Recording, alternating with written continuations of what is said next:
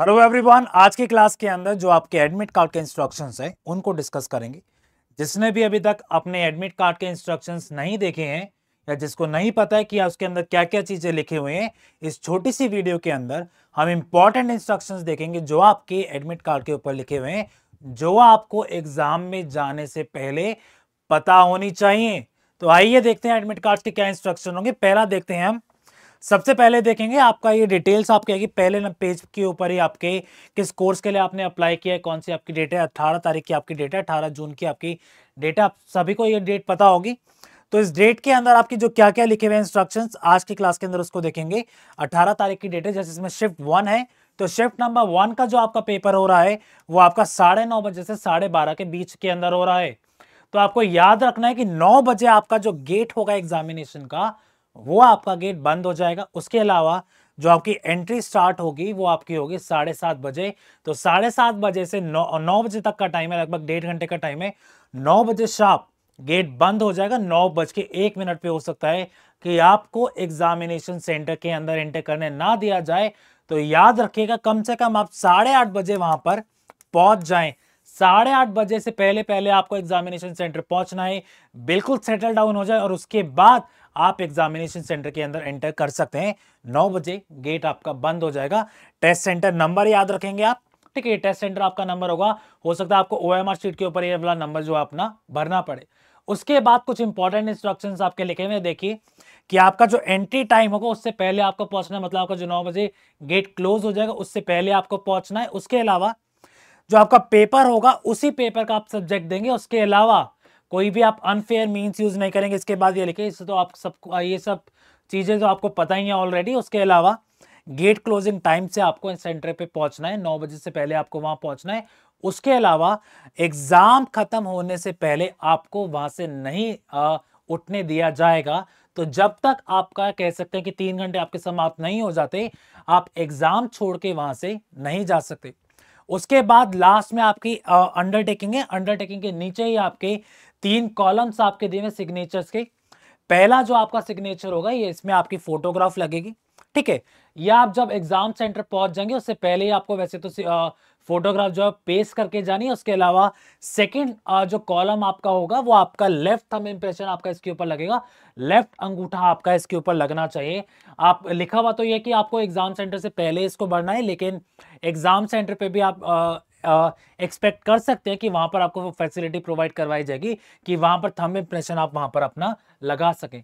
अगर हो सकता है तो आप पहले भर के जाइए इन दोनों चीज़ों को, अपनी फ़ोटो पेस्ट करके जाइए और अपना लेफ़्ट थंब का इंप्रेशन जो है, वो आप वहाँ पर पेस्ट करके जाइए। लेकिन जो सबसे इंपॉर्टेंट कॉलम रहेगा, वो आपका रहेगा लास्ट वाला कॉलम सभी बच्चों को याद रखना है, इस कॉलम के अंदर जो आपके सिग्नेचर्स होने हैं, वो आप एग्जामिनेशन से पहले नहीं भर के जाएँगे।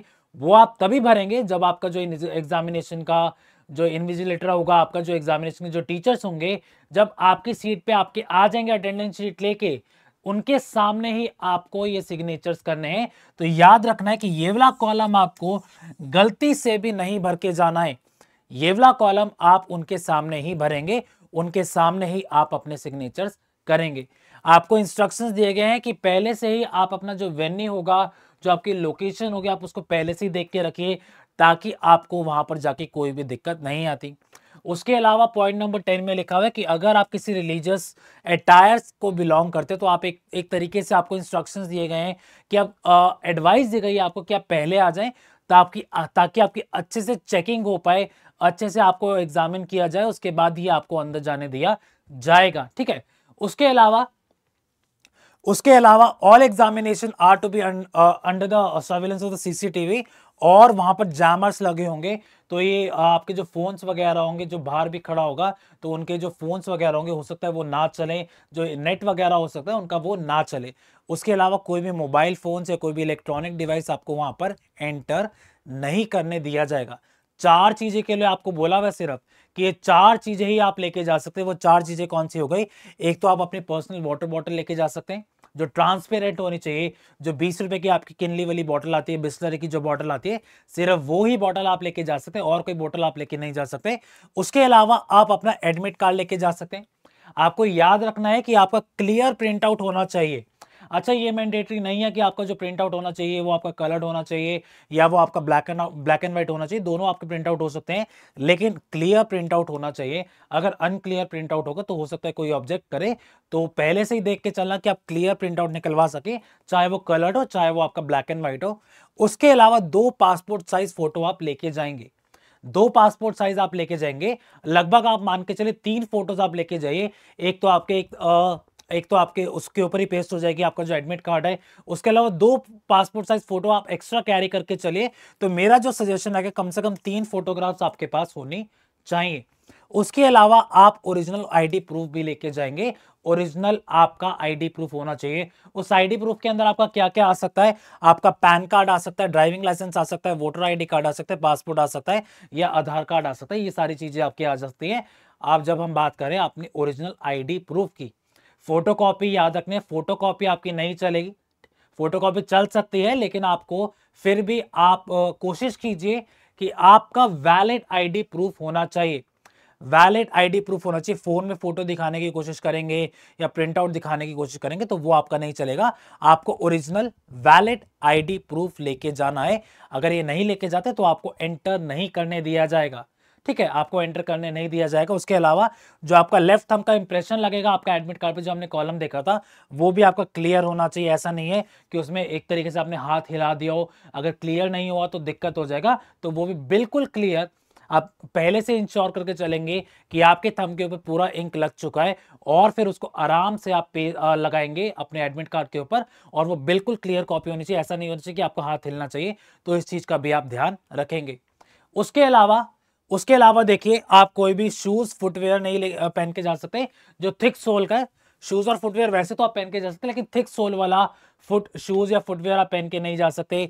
गारमेंट्स थिक नहीं हो सकते आपके, या भारी कपड़े आपके नहीं हो सकते। उसके अलावा याद रखिएगा कि आपकी बेल्ट भी नहीं होनी चाहिए, हो सकता है बेल्ट के लिए भी ऑब्जेक्शन वहाँ पर आए, या आपकी रिंग के लिए ऑब्जेक्शन है तो आप ये सब चीज़ें भी नहीं लेके जाएँगे। ये चीज़ें आप याद रखेंगे कि कोई भी रिंग कोई भी फ़ोन कोई भी बेल्ट वगैरह या कोई भी घड़ी भी आप अवॉइड कीजिए कि हो सकता है घड़ी भी आपको ना लेके जाने दिया जाए। तो ये चीज़ें, सारी चीज़ें आप अवॉइड करेंगे। आप ब्लैक बॉल पेन और आप ब्लू बॉल पेन लेके जा सकते हैं। रफ शीट जो आपकी होगी वो आपको वहीं पर ही प्रोवाइड करवा दी जाएगी।